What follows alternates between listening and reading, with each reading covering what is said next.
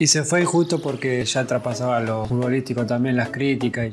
Leo Messi y Cristiano Ronaldo han sorprendido juntos en este inicio de mundial. Conocemos la, la característica de cada uno y sabemos qué es lo mejor en cada momento y vamos a hablar con todo lujo de detalles sobre la colaboración entre ambos cracks. Sí, obviamente cuando más jugás y más, más tiempo pasar dentro de la cancha te... Compañeros por un día, dos de los mejores futbolistas de todos los tiempos, Leo Messi y Cristiano Ronaldo, han posado juntos en una campaña de publicidad de Louis Vuitton. La fotografía se ha hecho utilizando un baúl como tablero, ya que formaba parte de la campaña promocional de la marca. La victoria está en la mente, una larga tradición artesanal construyendo baúles fotografiada por arroba Aniele para arroba Luis Vuitton, asegura Messi en su perfil de Instagram. La imagen es lo más comentado del día, incluso más que el Mundial de Qatar que comienza este domingo. El post de Messi cuenta ya con 25 millones de visualizaciones. Portugal, haremos todo lo posible para ganar el Mundial, tenemos mucha ambición. Si estamos en nuestro mejor momento, será muy difícil vencernos,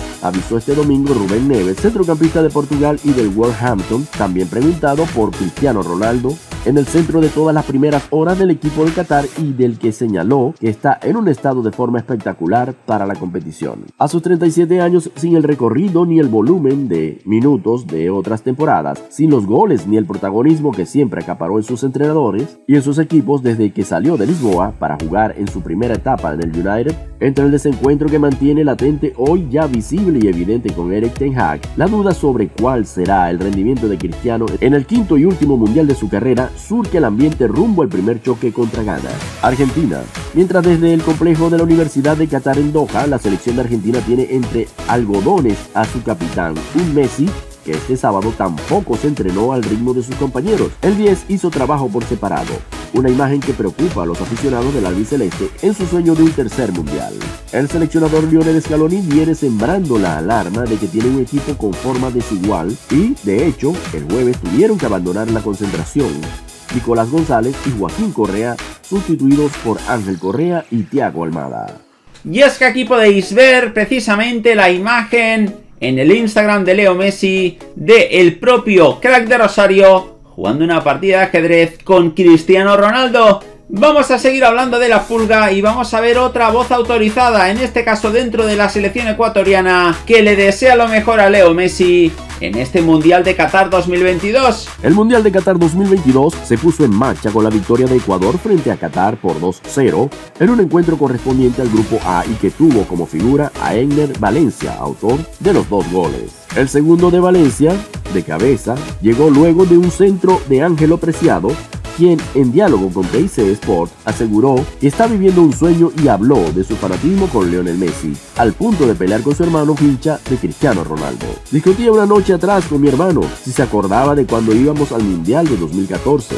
Él es un poco hincha de Cristiano y a mí me gusta mucho Messi. Soy fan de Leo aseguró el futbolista del Gen de Bélgica que estuvo en algún momento bajo la órbita de Boca. Yo estoy acá, uno de mis sueños se está haciendo realidad. No pensé que lo iba a jugar, un mundial, tan pronto, reconoció Preciado, quien pasó a ver y hablar de Messi y Cristiano con su hermano a compartir con ellos una misma Copa del Mundo. Sueño con jugar una final del mundo, es importante ir paso a paso, partido a partido, afirmó el dirigido por Gustavo Alfaro y cerró. Si no sale campeón Ecuador, que salga campeón Messi. Hace unos días, Luis Enrique, entrenador del seleccionado de España, también afirmó que en caso de no poder consagrarse campeones, deseaba que el Mundial de Qatar 2022 quedara para Lionel Messi.